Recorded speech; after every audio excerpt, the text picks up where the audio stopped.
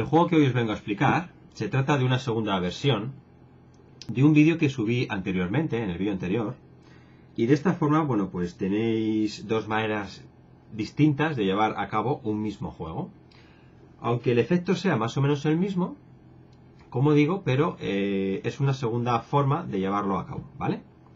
Para todo aquel que no lo sepa, para llevar a cabo el juego se necesitan dos barajas, importante que tengan distinto color de dorso. En mi caso yo he escogido que la baraja de dorso rojo sea la baraja que use el espectador y la baraja de dorso azul va a ser vuestra baraja, la baraja que use el mago. La preparación es muy simple, tan solo vamos a elegir dos cartas cualesquiera de cada baraja, en mi caso yo he escogido la reina de corazones, vosotros podéis escoger la que queráis, y tenemos que ponerlas de la siguiente forma. La carta de nuestra baraja la dejamos encima de todo, en top. Y la carta de la baraja del espectador la vamos a guardar en el bolsillo trasero de nuestro pantalón.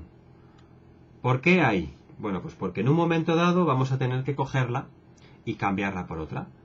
Es un sitio muy sencillo y muy accesible a nuestra mano porque como en todo momento el juego se realiza con la baraja eh, tras nuestra espalda, pues es un, es, una, es un sitio muy fácil de poder introducir la mano, coger la carta e intercambiarla por otra, ¿vale? Entonces, como digo, esta carta, la carta de la baraja de espectador, en el bolsillo trasero de nuestro pantalón. Ya estaríamos preparados para empezar el juego. Muy bien, le pedimos a uno de nuestros espectadores que coja la baraja, que se la lleve a su espalda, nosotros haremos lo mismo con la nuestra, que vaya pasando cartas y totalmente al azar que escoja una cualquiera, ¿vale? Da exactamente igual cuál haya escogido, porque el espectador en ningún momento la va a ver. Le pedimos que la deje sobre la mesa y nosotros, al mismo tiempo que él, yo como no puedo hacerlo al mismo tiempo todo, pues primero hago una acción y luego otra. Y nosotros vamos a hacer lo mismo, haremos ver que escogemos una carta del medio, cuando en realidad lo único que hacemos es coger la carta que tenemos encima de todo, en top. Y la dejamos sobre la mesa. Vale, le pedimos a, nuestros, a nuestro espectador que a continuación vamos a intercambiar nuestras cartas. Él va a coger la, la nuestra y nosotros vamos a coger la suya. Bien, recuerdo que ambas barajas, cada uno de nosotros la tiene en la espalda.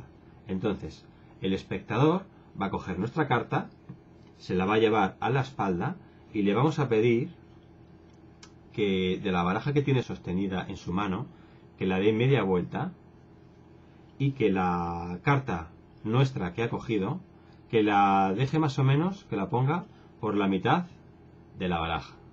Más o menos, ¿vale? Y nosotros, al mismo tiempo que lo explicamos, pues vamos a hacer ver que vamos a hacer la misma acción, cuando en realidad vamos a hacer otra totalmente distinta. Os explico.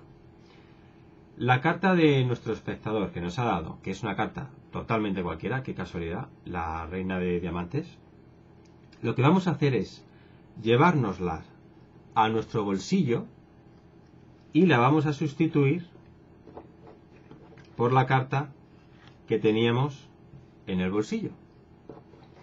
Sustituimos una por otra cogemos la que teníamos guardada y hacemos la misma acción que le hemos pedido a nuestro espectador.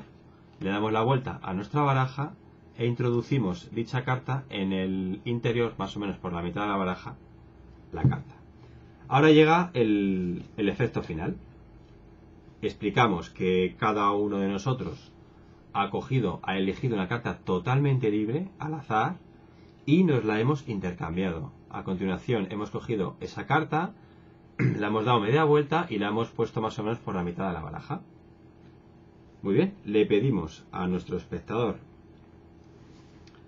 que haga una extensión, nosotros haremos también lo mismo y podemos comprobar que él tiene más o menos por la mitad una carta vuelta y nosotros también. Vale. Baraja del espectador, ¿qué es esta? La roja. Le damos media vuelta a nuestra carta y podemos comprobar que ha sido la reina de corazones. La baraja de nuestra. Cogemos la carta que ha escogido libremente nuestro espectador y resulta que ambas cartas son las mismas. De entre las 52 cartas posibles, ambos participantes han escogido la misma carta. Como habéis podido ver, es un juego bastante visual, ¿vale? Es un poco lata el, hecho de estar escuchando y tragarse este vídeo, pero os aseguro que si lo lleváis a cabo y lo hacéis em, con público real, el efecto es bestial, ¿vale? Practicarlo un mínimo de veces, como siempre os digo, para que veáis que, bueno, más que nada para que veáis, para que practiquéis el cambio de la carta de vuestro bolsillo, que no os enganchéis, que sea algo natural, ¿vale? Espero que os haya gustado, espero que sí. Si es así, darle un me gusta. Os recomiendo que os suscribáis al canal para que no os perdáis ningún truco de magia. Muchas gracias por verme y nos vemos en un próximo juego. Adiós.